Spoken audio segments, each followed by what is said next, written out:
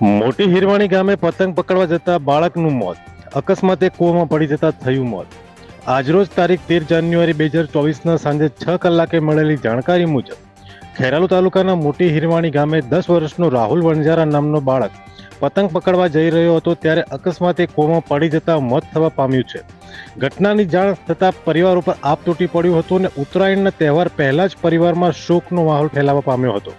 પરિવારે ખેરાલુ સિવિલ ખાતે ખસેડ્યો હતો જ્યાં પોલીસે અકસ્માતે મોતનો ગુનો નોંધી પીએમ કરાવી વધુ તપાસ હાથ ધરી છે.